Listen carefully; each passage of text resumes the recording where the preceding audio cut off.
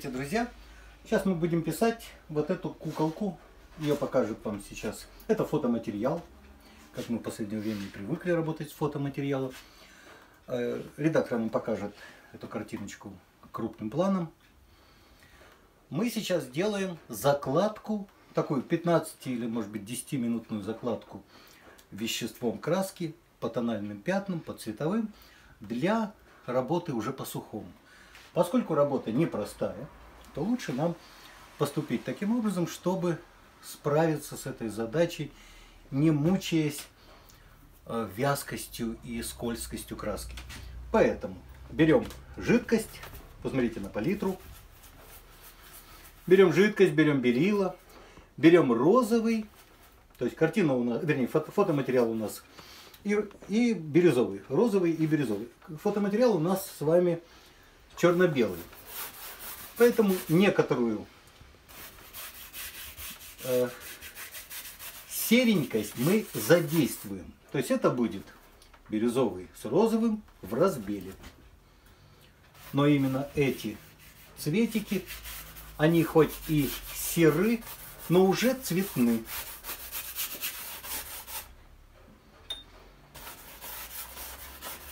Я взял строительную кисть небольшого размера, под размер холста. И избавляю белый холст от сухости и от белости. То есть появляется некая среда обитания, ну какая-то среда а-ля а постель. Такая сумеречная или э, как бы такой теневой цвет постели. Здесь у нас подушка светла, мы ее чуть добавив белил, обозначим. И здесь белилами обозначим вторую часть, видимую и освещенную часть постели.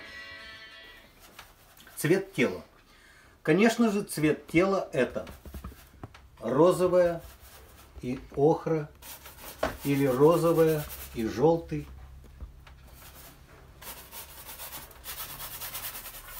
И вот он, наш цвет тела.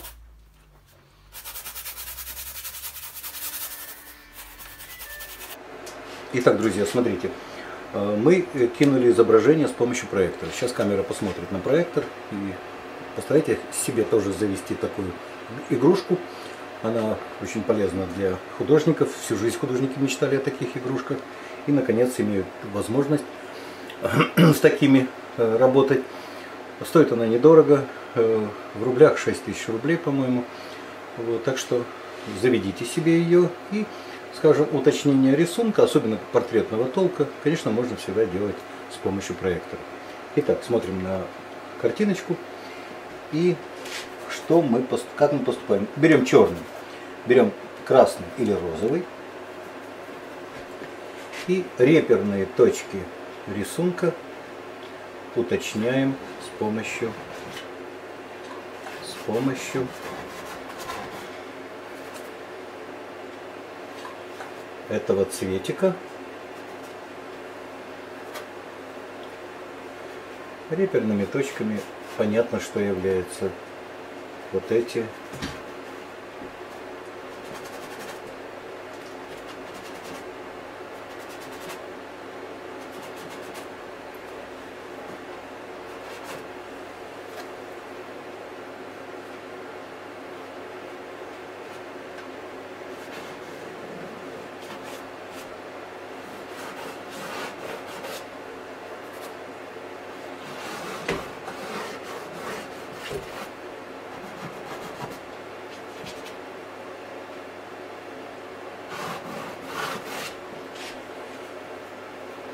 Вот. Ну, собственно, теперь можно уже работать с этим изображением. Я включаю свет.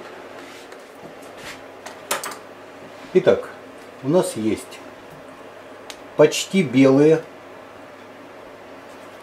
почти белые простыня и подушка. немного усилим их белизну, чтобы от нее отталкиваться в белизне тела.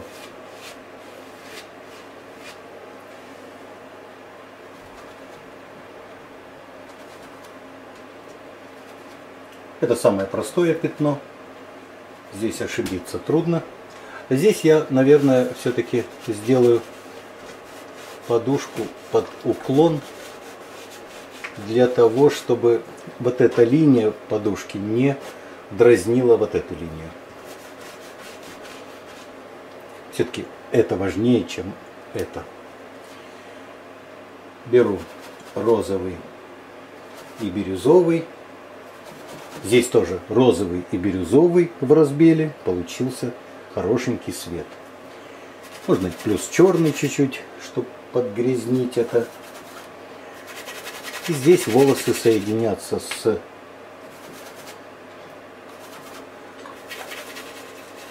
темнотой фона. И темнота фона выстроится по направлению света. Вот подушка может даже иметь уголочек небольшой.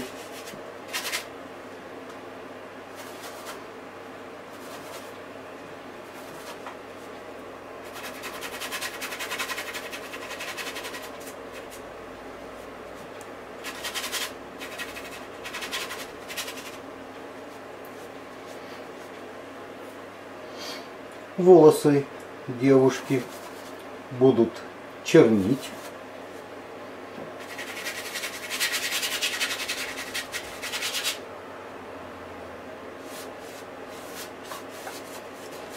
Немножко съедят вот этот некрасивый треугольник вот здесь.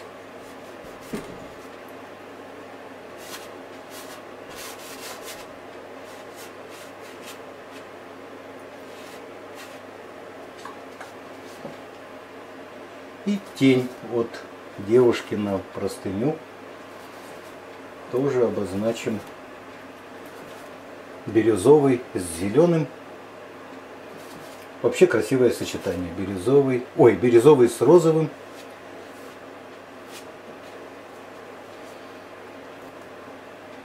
Такое серенькое и красивенькое.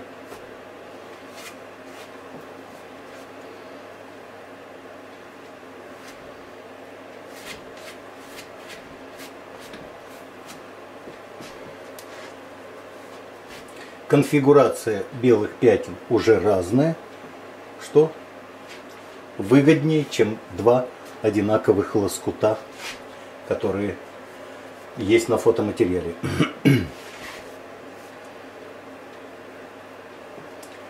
Чуть подотру палитру от черного и от зеленого. Сполосну кисть. Сполос... Кисть я сполоснул тем, что макнул в разбавитель на рабочую часть палитры и вытер кисть и вытер палитру, э, рабочую ее часть э, для смешивания. И у меня получилась вполне э, зачищенная кисть. То есть совсем чистая она нам не очень, может быть, даже и нужна. Разбел охры.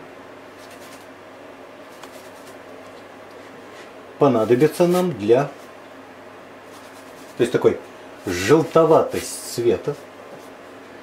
Можно чуть-чуть с розовеньким.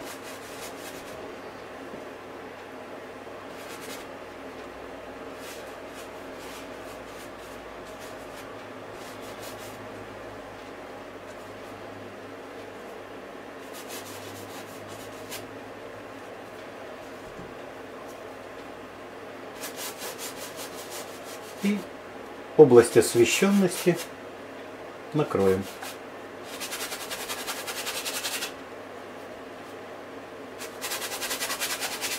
Краски немного, затирательно, подкладка у нас высохла полностью. Прошло всего три дня, да, даже на второй день уже можно было писать.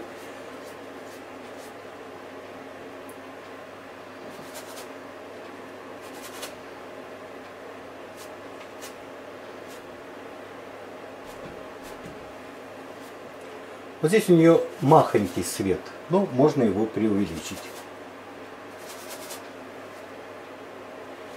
Я поверхность ничем не протирал, краска еще живая, то есть еще нет необходимости связки одного слоя с другим. Вот, поэтому практически как будто продолжаю предыдущий сеанс. Но при этом у меня высохла подкладка, я успел сориентироваться по, по основным пятнам. Теневые. Теневые будут розовить. Краснить, розовить.